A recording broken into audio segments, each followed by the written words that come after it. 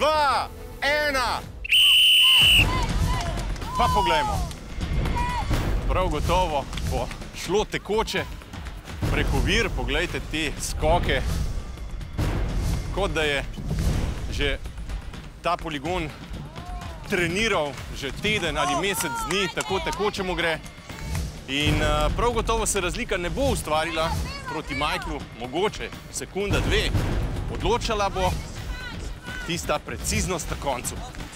Še zadnji del, uh, nek čudno je priletel pri tem le skoku, ampak vse je v redu, se mi zdi.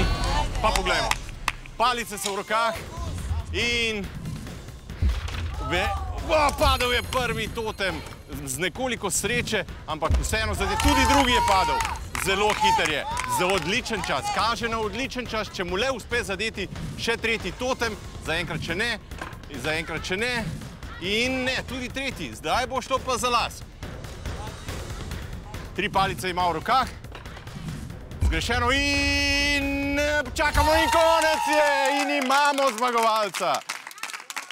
Imamo prvega dobitnika medalje, to je Tim Nuč s časom 1 minuta, 6 sekund in 9 stotink. Čestitke in aplaus Timu.